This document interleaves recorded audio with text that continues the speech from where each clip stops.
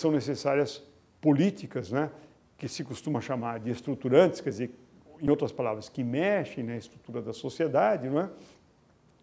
E entre elas, por exemplo, no caso específico da agricultura, é? a população do meio rural, é? políticas que permitam que essas pessoas tenham acesso, por exemplo, a um meio produtivo fundamental, que é a terra.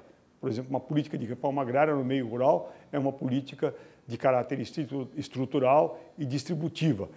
Paralelamente, também nós precisamos dar acesso a essa população que trabalha no meio rural, não só, digamos, esse elemento fundamental que é o acesso à terra, mas também a políticas não é, e mecanismos que permitam, ah, digamos, a produção na terra disponível. São as políticas de crédito, as políticas de assistência técnica, enfim, as políticas de acesso à produção. Betinho tinha uma frase que dizia isso, que é, quem tem fome tem pressa.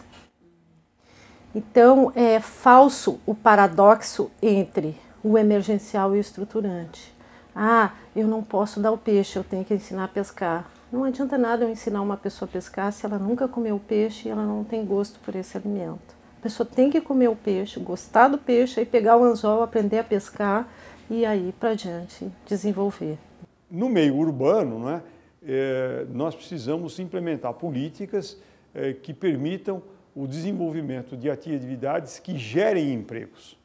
É? Então é preciso que nós, na, nos outros setores da economia, né, implementemos programas é, que permitam que essa população que hoje é beneficiária desses programas distributivos é, possam ter acesso ao emprego. E para ter acesso ao emprego, eu acho também, por sua vez, isso implica é, em políticas de caráter educacional, e de caráter formativo, termo, em termos não apenas de acesso à educação básica, mas também de acesso profissional, as pessoas terem uma profissão para se inserirem no mercado de trabalho. Então, muitas vezes, manter uma política social para uma família que queria, como se diz, bom, vai criar uma nova dependência do Estado, né? eles vão perder o, o apoio, o, a sustentação de um coronel e vão passar a ter de um, de um governo. Né?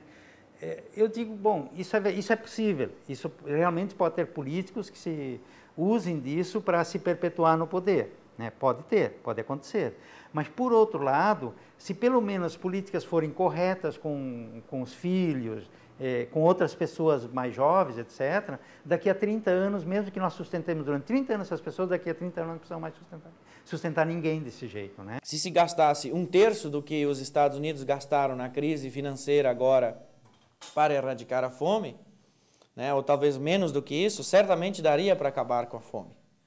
Né? É, então, nós tivemos exemplos agora de, em questão de 12 meses, 15 meses, o planeta, a economia mundial, gastou alguns é, trilhões de dólares né, em, em tentativas de salvaguardar a estabilidade financeira do sistema.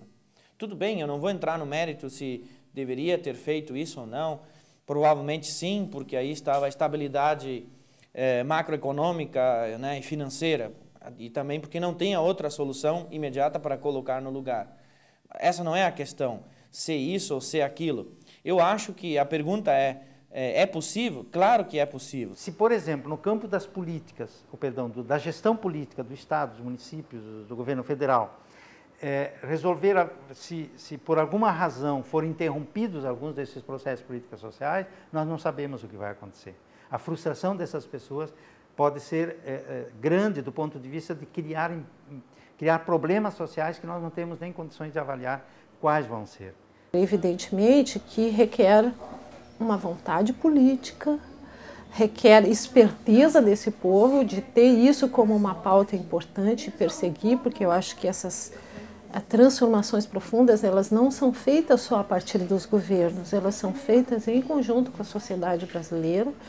O Brasil é um país em que todos os, os, benefícios sociais voltados para as grandes massas foram conquistas delas e não dos governos. Eu acho que é uma, uma situação que é boa e é ruim, é uma crítica, mas ao mesmo tempo um, um, um pouco de elogio.